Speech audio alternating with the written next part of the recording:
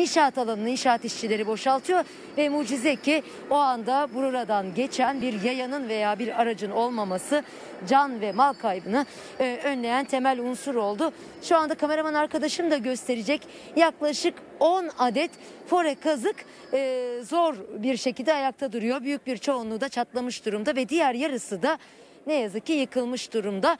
15 metre uzunlukta, 3,5 metre genişlikteki yolun bir şeridi tamamen yıkılmış durumda.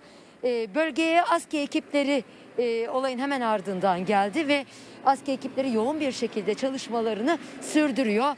Ee, karşımızda da gördüğünüz gibi suyun boşaltılması çalışmaları devam ediyor. ASKİ ekipleri suyun içerisinde ve yol çalışmaları da devam ediliyor. E, Bölge güvenlik çemberi altına alınmış durumda.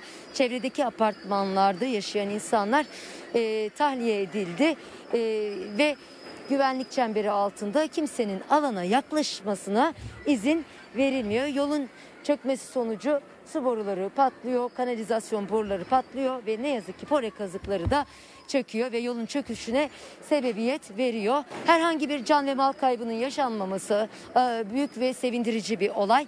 E, Bizlerin e, buradan aktaracakları şimdilik bu kadar. Biz çalışmaları takip etmeye devam edeceğiz. Kameraman arkadaşım Fatih Acar'la birlikte ve sözü size bırakalım.